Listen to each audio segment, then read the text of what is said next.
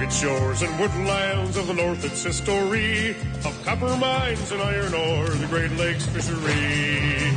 To the farmlands of the southern counties, we'll look around, my friend, at all that waits the sportsmen in the state of Michigan. And sometimes when the moon brings out the diamonds in the snow, and the stillness of the forest lies encased in Arctic cold, the wind might whisper through the trees, listen if you can. Tells you all the beauty in the state of Michigan. Hi there. Come on in. I'm Fred Trost, and I'd like you to join me for the next half hour. We have a couple great adventures way up in the North Country. We're going to start off at Pym Island on the Attawapiskat River in northern Ontario, where Carl Salling introduces us to some terrific pike fishing. My son Zach caught the pike of his life. Then we're going to head to Alaska for part two of the incredible sequence, our five part series on caribou hunting.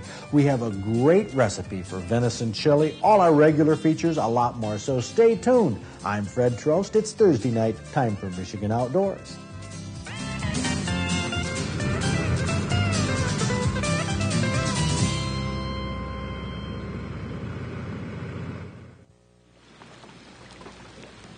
Sunrise. What a beautiful part of the day. This is Fishing Camp, Northern Ontario, in July. At the bow of the boat, my 21 year old son Zach. At the motor, my 15 year old son Jason. And in one of the boats ahead, my dad. It was a father son fishing trip. My favorite lure, by the way, is one my dad introduced me to in Canada when I was 10 years old a gold Williams wobbler. I guess it's just nostalgia, but there's always been something special about the lure I used for pike and walleye fishing with my dad back in the 50s. And now on this father son grandson trip in the 80s, I'm using the same lure, casting and trolling for pike and walleye. Carl Salling was fishing with his son Mike, who caught a nice little pike early in the week. That's like getting right over the back of the head. These are just the little guys. The river we're fishing is the Attawapiskat, which flows into the Hudson Bay. We're at Pym Island, an Indian-owned camp, and Carl Salling from In Season Adventures books trips to this camp. It's the northernmost fishing camp in Ontario. It's not known for lots of fish, it's known for trophies, but we warm up on some smaller ones. Now, that is not a bad walleye at all. Oh, got him under the chin. A nice Canadian walleye. Well, what do you think, John? Shore lunch? That's it. Shore lunch, or do you think we'll catch a lot more? Yeah, we I guess we might as well put them back. The teeth on those. Now here's where a fisherman gambles on how many he's going to catch. Oh! You know, they sit there so nice for so long, and you can look at them, and then they go haywire. Well, we'll let them go. Now this is something I don't often do, but we're only keeping fish we're going to eat that night. The wind picks up. I switch to a spinnerbait casting next to the islands. In northern Ontario in July, Okay. the weather can change on a moment's notice. You'll often have several different conditions in one day. Rain gear should be with you all the time because you'll wear it frequently. You don't want to stop fishing just because of a little shower.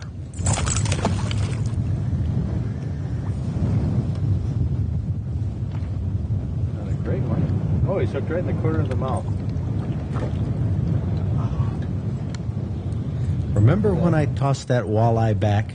Well, it's still haunting me. Ooh-wee. Now tell me I'm not living dangerously. No wire leader. But they oftentimes hook in the corner of the mouth. That's not a bad one. Not a bad one. Do we need him for dinner? Do we need him for dinner, John? we, we might. Now let's count on them for a few walleyes. You think we have Yeah. enough walleyes? I don't know. No, he's going for dinner. I think we, I think we, we need him tonight. Yeah, we better get the stringer. I'm going to put this one back into the water too. On the stringer. Nothing like eating fresh fish for dinner, watching the sun go down on the Attawapiskat, and listening to the mosquitoes doing their blood dance. You want to keep them at ear's length, though. Forget your American Express card up here, but don't leave home without insect repellent.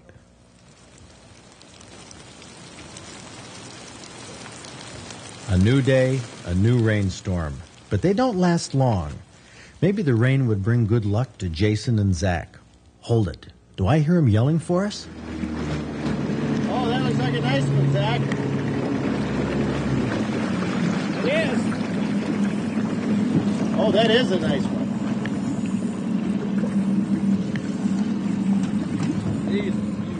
Come on, Jason, get ready. Put the net in the water, Jace. The net in the water. Okay. Zach will bring the pike back to it. Don't don't extend so far, Jace. Come on. Got it. Oh, Zach! Jeez. Oh, great! yeah! Outstanding! Talk oh, about pride. The boys' pride in that trophy pike and my pride in my boys. All of us were on cloud nine. Great!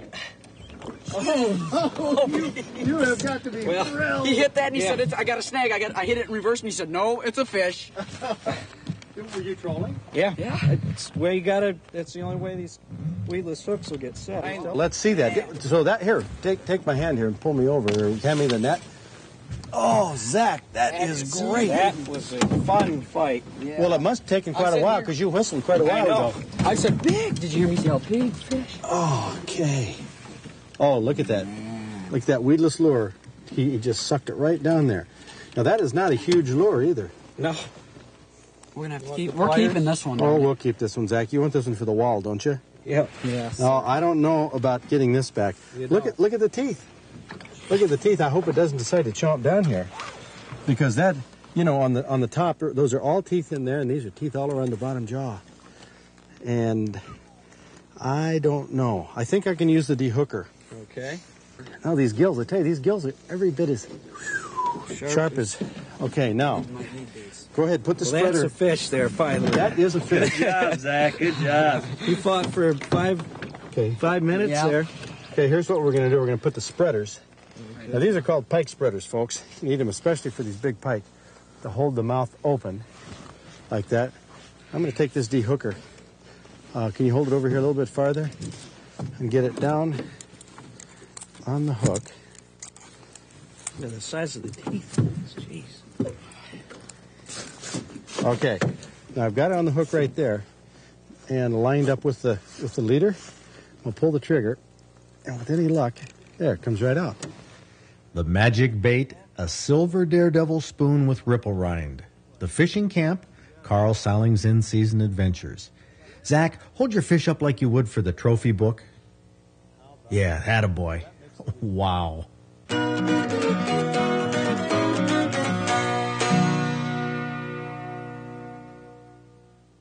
thin ice, so to speak.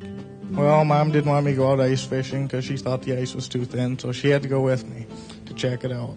So we went out there and set two tip ups out. We were the only two with tip ups out. They all looked at us like we were crazy. And about 15 minutes later, the flag went up, and we pulled in the smaller one of the two. Smaller one, which is a 21 and three quarter pounder. Yep. And it took about five minutes to get that one in, and I was just shocked over that one when the second flag went up. And mom left in the meantime to go home because she was cold, and we pulled in the bigger one of the two. And then we packed up and went home. What does the term carnivorian lethargy refer to? It's the scientific name for the winter sleep of bears. Carnivorian lethargy isn't a true hibernation because the body temperature of bears doesn't drop much below normal while they sleep during the coldest part of the winter.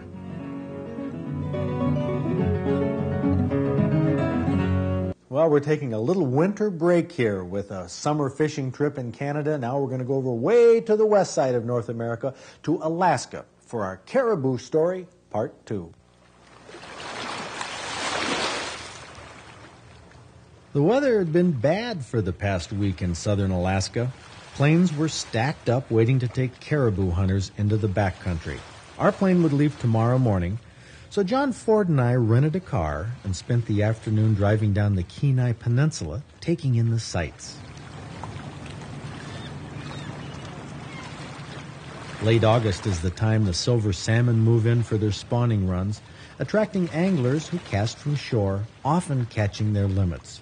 Now watch the salmon jump in the background. Some anglers use bait, but many cast or troll spoons. Look at this, two double hooks instead of one treble are a popular Alaskan combination. Can you imagine a more beautiful setting than this for an afternoon of fishing? All kinds of boats troll the bay at Seward. Private boats, charter boats, big ones, small ones. But I'm not sure that the trollers were having any better luck than the shore fishermen.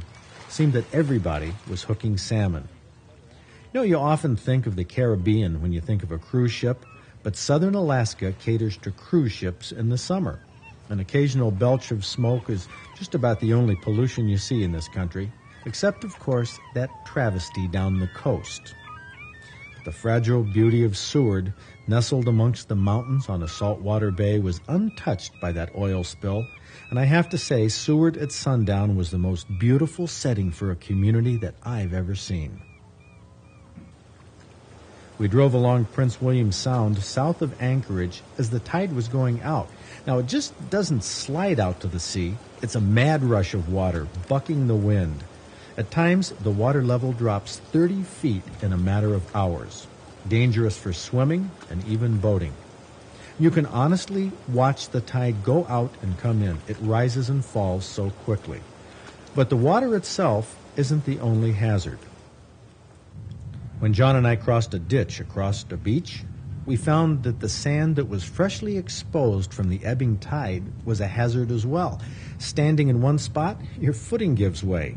The wet sand was like quicksand. I really didn't want to see how far I'd sink, so we didn't play with Mother Nature on this one. We saw the delicate beauty of Alaska on the ground, a stark contrast to what we saw from the air. Jagged volcanic peaks interspersed with valleys of open water, floating chunks of ice that broke off the feet of glaciers were sights that well, it made us wonder how or if anyone had ever set foot up here before. Only description we could come up with is awesome. Totally awesome. The western slopes of the mountain range mellowed out with vegetation, clouds, and rain, which occurred about every other day in August. Our outfitter, Gary Pogany, flew us in one of his several planes to Osprey Mountain Lodge, west of Anchorage. Now, this is our base camp. Most of the hunters will be flown to individual tents in the surrounding area for several days at a time. Flying, by the way, is a necessary part of life in Alaska. Most everyone, it seems, has a pilot's license. It's the most efficient and oftentimes the only way to get around. Gary's a Michigan native, by the way, transplanting his family to Anchorage a few years ago. Two thirds of all Alaskans weren't born there. With the mud caused by the August rains, Gary keeps his camp clean and dry with the walkways he's built to connect the main lodge with the tents. These tents are where hunters stay while they're at the base camp. This is the main lodge. Wow, where the guides and the pilots and the chef stays. How do you build a lodge like this in a remote mountain valley? We'll show you in a minute. But this lodge is a dream house for most sportsmen.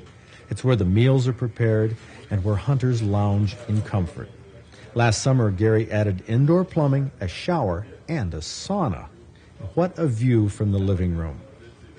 For two days, a grizzly bear and her two cubs were feeding on the remains of a butchered caribou. They could be watched through these windows. This bulldozer was flown to a landing strip 20 miles away one summer. It took Gary three winters to drive it the 20 miles to this location over the mountains and through the tundra.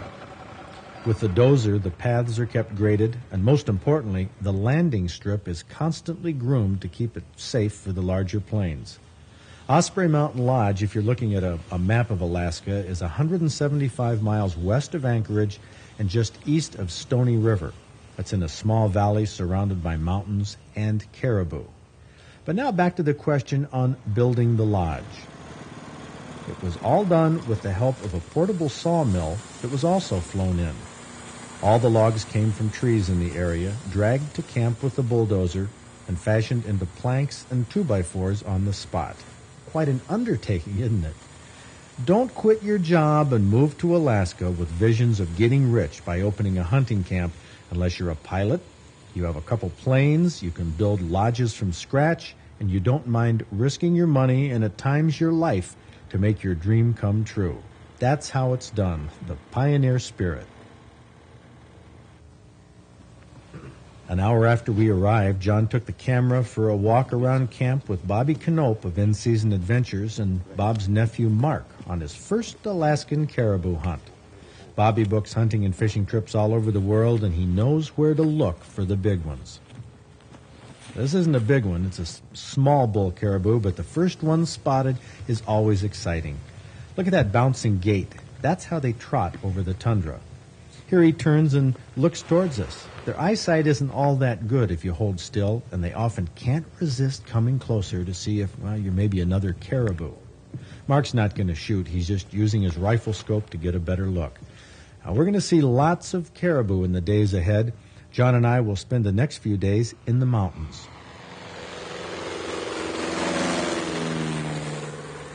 The Piper Cub dropped us off on a mountaintop, and that's where we'll be next week. I hope you'll join us.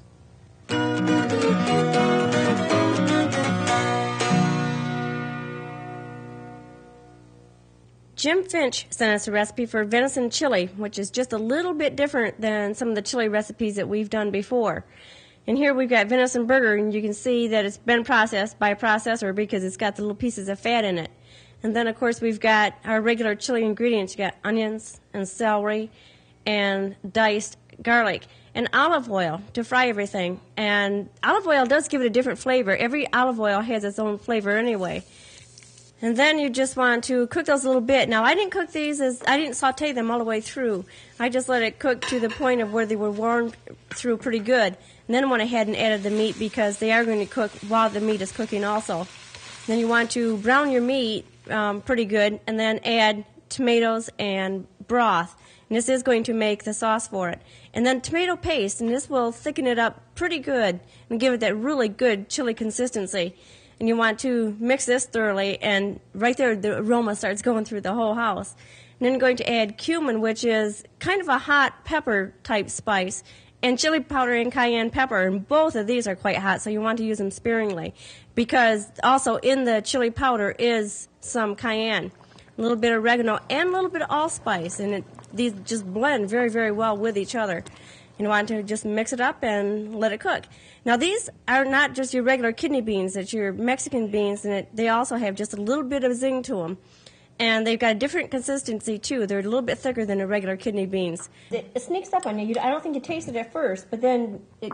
Yeah, but it's not to be confused with with your romping, stomping, Oh, no, you know, all. chili like that. Is This does not burn the first layer of skin No, off no. your mouth. This, No, it doesn't. It's a very, very pleasant tasting chili. It makes the venison taste good. It adds a little zip to it too. it, it's it's what is it that's different about it? I think the allspice that you don't find in most hmm. chilies. It, It- 'cause just a it- little bit different. It does. Fred, Fred, some recipes are something I would add or take away or do do whatever to make it better. Not this one. This The one. chili. Maybe this is the first best chili recipe. No, I tell my wife her cooking is perfect all the time.